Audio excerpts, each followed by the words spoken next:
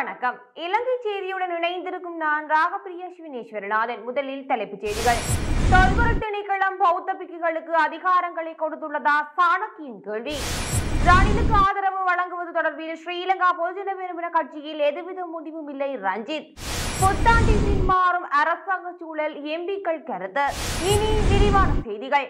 தமிழ் தேசிய கூட்டமைப்பின் நாடாளுமன்ற உறுப்பினர் ரா. சாணக்கியின் தங்கள் அதிகாரங்களை தொல்பொருள் திணைக்களம் பௌத்த பிக்குகளுக்கு கொடுத்துள்ளதா என கேள்வி எழுப்பியுள்ளார். திருகோணமலை புல்மோட்டையில் பிக்குவின் அட்டகாசங்கள் குறித்து கடந்த சில வாரங்களாக ஊடகங்களில் செய்திகள் வெளியிடப்பட்டு வருகின்ற நிலையில் ஊடகவியலாளர்களின் கேள்விகளுக்கு பதிலளிக்கும் போதே தமிழ் தேசிய கூட்டமைப்பின் நாடாளுமன்ற உறுப்பினர் ரா. சாணக்கியின் மேற்படி கேள்வியை எழுப்பியுள்ளார். இந்நிலையில் தங்களுக்கு ஆதரவாக அரசியல்வாதிகள் மற்றும் நாடாளுமன்ற உறுப்பினர்கள் இருக்கின்றார்கள் என்ற செய்தியை கூறுவதற்கு நீங்களும் வர வேண்டும் என மக்களின் கோரிக்கைக்கு இணங்கி இந்த விஷயத்தை மேற்கொண்டோம் என தெரிவித்துள்ளார்.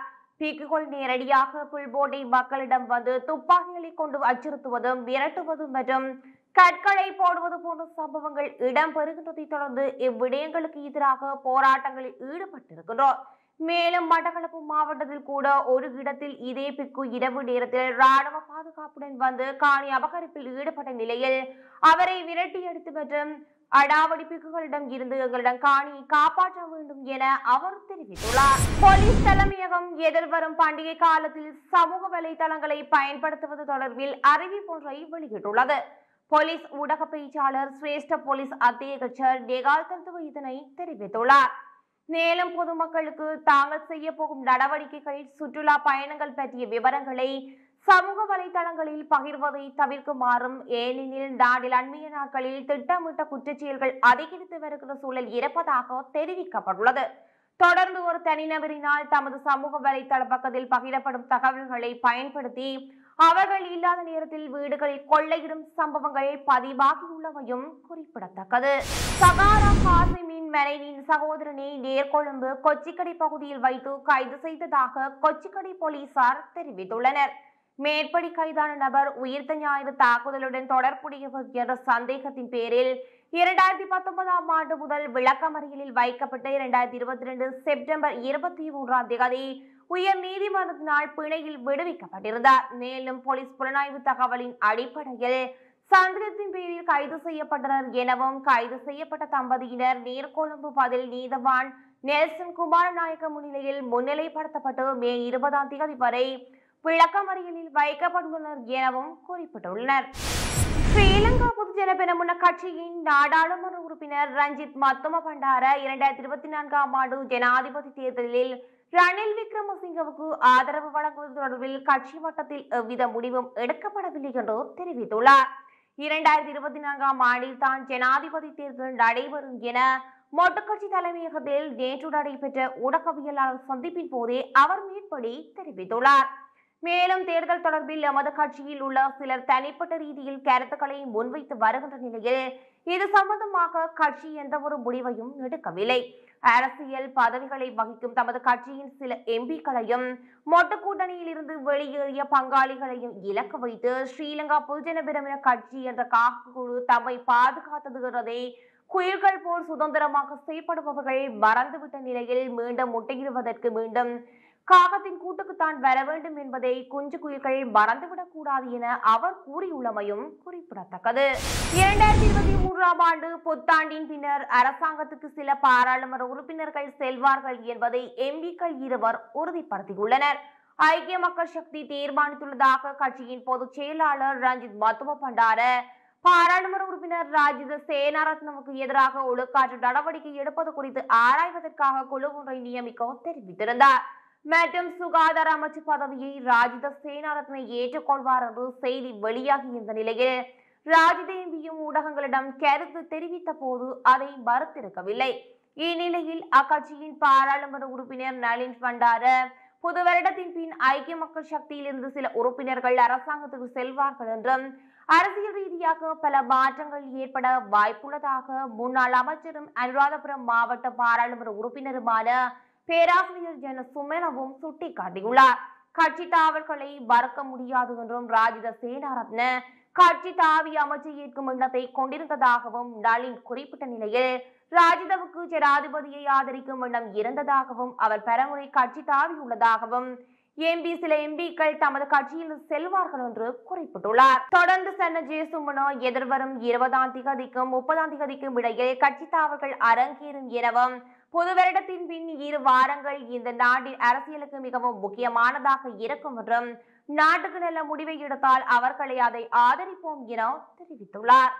இலங்கை மற்றும் மாலைதீவுக்கான கனேடிய உயர்ஸ்தானிகர் எரிக் வால்ஸ் மற்றும் தேசிய மக்கள் சக்தியின் தலைவர் அனுரகுமார திசாநாயக்க ஆகியோருக்கு இடையில் சந்திப்பொன்று நேற்று ஜேவிபி தலைமை அலுவலகத்தில் நடைபெற்றது. இதன்போது இலங்கையின் தற்போதைய பொருளாதார நெருக்கடி மற்றும் தற்போதைய அரசியல் நிலைமைகள் குறித்து விவாதிக்கப்பட்டதாக தெரிவிக்கப்பட்டுள்ளது.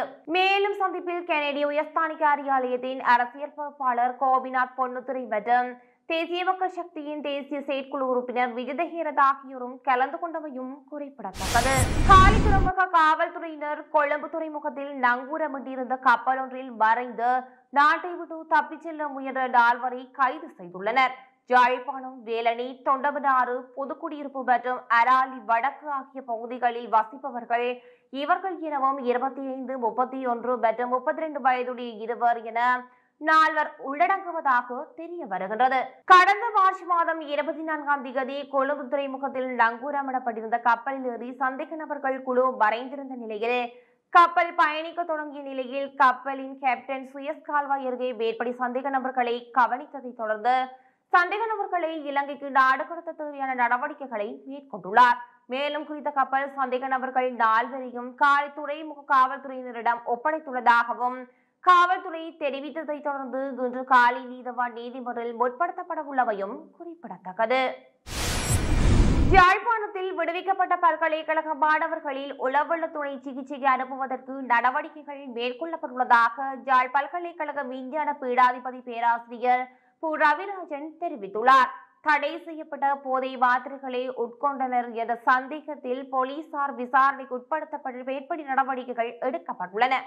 போதைப் பொருளை விற்பனை செய்யும் நபரொருவர் வழங்கிய தகவல்களுக்கு அமைவாக மாணவர்கள் தங்கியிருந்த வீடு சுற்றி வளைக்கப்பட்ட போது கைது நடவடிக்கை முன்னெடுக்கப்பட்டது. போலீசார் மேற்கொண்ட திடீர் சுற்றி வளைப்பின் போது தடை செய்யப்பட்ட போதை மாத்திரைகளை உட்கொண்டமை மற்றும் போதை மாத்திரை விற்றுரைகள் கைப்பற்றப்பட்டமை தொடர்பில் சந்தேகத்தின் பேரில் விசாரணை செய்யப்பட்ட பின் சிகிச்சை நிலையத்துக்கு அனுப்பும் வேலை திட்டங்கள் நடைபெற்றன.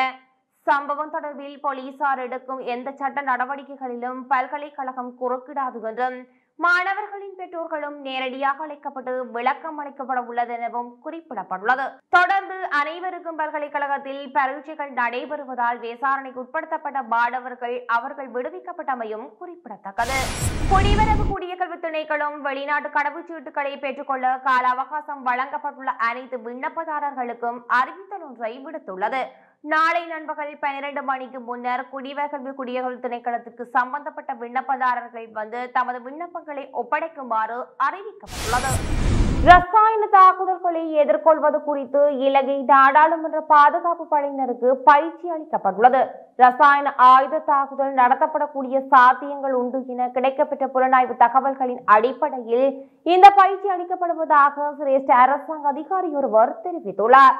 ரசாயன ஆயுதங்களை முறியடித்தல் நாடாளுமன்ற பணியாளர்கள் மற்றும் பாதுகாப்பு தரப்பினருக்கு நிபுணத்துவம் கொண்ட ராணுவ அதிகாரிகளினால் மேற்படி பயிற்சி அளிக்கப்பட்டுள்ள நிலையில் ரசாயன ஆயுதங்களை பயன்படுத்தினால் அதனை எவ்வாறு எதிர்கொள்வது என்பது குறித்து விசேட அதிரடிப்படையினர் நாடாளுமன்ற போலீஸ் பிரிவு என்பவற்றுக்கு பயிற்சி அளிக்கப்பட்டது.